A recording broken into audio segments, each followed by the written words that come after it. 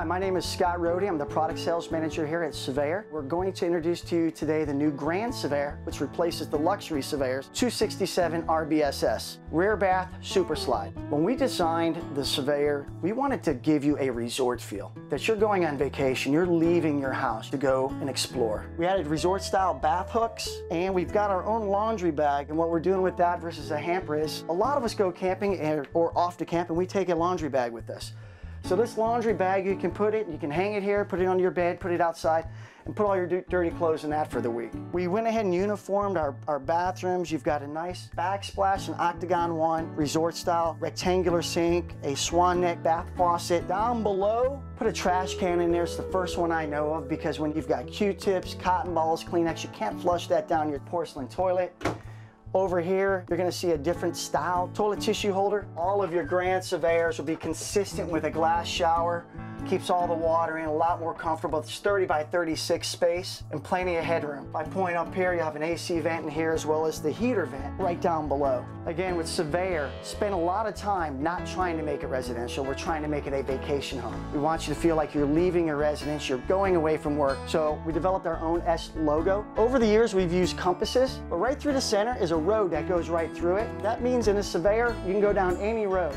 Other standards that we did with the Grand Surveyor this year is we went ahead and made 39 inch TV standard, as well as a fireplace with 5,200 BTUs of heat. Across from the entertainment center in this particular model, in our Super Slide, we developed a piece of furniture called a TSS, which stands for Trifold Sofa Sleeper. So a lot of people want a home theater seat. Well, that's what you have. If I want it to be a sofa, I can remove the center pontoon piece in all other models, that's all you get. With ours, you can see I could lay that down and now you've got a whole sleeper. As we move down the super slide, you can see we have oversized windows, a large panoramic window at the dinette. Of course, your dinette still turns into a bed, but what's unique about the Grand versus the Legend Surveyors is that in the Grand, you get nice pull-out drawers on both the dinette bases. All the Grand Surveyors will come standard with a 10 cubic foot, 12 volt refrigerator. So you've got about as big a refrigerator as we can put in a travel trailer.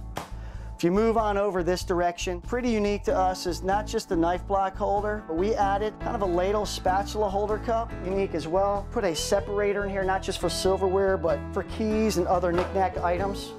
You'll see in all your Surveyor kitchens is a nice bottle opener. This particular model, we were able to add extra counter space with a kitchen top extension. Somewhere in the coach will be the pet bowls as well all of that is really demanded in our industry. In the bedroom, full-size residential queens in all of our models. If you take a look here, we took the heat ducts out of the floor, so they'll be in the walls or the cabinets. With that, we also took one of the heat ducts and we pointed it to the underbelly. So this is a great coach when it comes to HVAC. New for this year with Grand Surveyor also, we're using this Euro-style, motorhome-style grab handle. You'll get platform steps in all the trailers as well. Previously with the Surveyor Luxury, we had a bike utility rack that was an option. It's now standard. The backup backup camera prep, still have that. A lot of people are adding that aftermarket. And then we went ahead and partnered with Go Power. So there's an 80 watt solar panel on every Surveyor that's going down the road. With Surveyor, we had outside kitchens on some models, but we decided we wanted outside kitchens on all of them. So we had to come up with a design to make all this work. You'll have a spray port, refrigerator, dry sink, and we changed out the griddle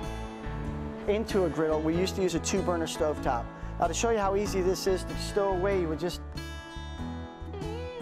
we listened to our customers and our dealers. They wanted a few more things in our front baggage compartment.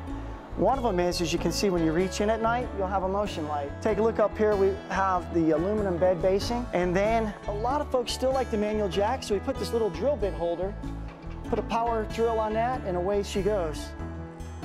And to close it up, slam latch. Again, this is an area we listen to our dealers and our customers on. They wanted a cleaner, more tidy front end. So we took our pet leash and we doubled it so now to hold your safety chains. We also have the battery disconnect box, which is really important when you're using 12 volt refrigerators and other items. You want to go ahead and disconnect from that. And then a nice seven plug holder. So the seven plug is not on the ground dangling and getting run over and damaged. Thanks for walking through the new Grand Surveyor 267 RBSS.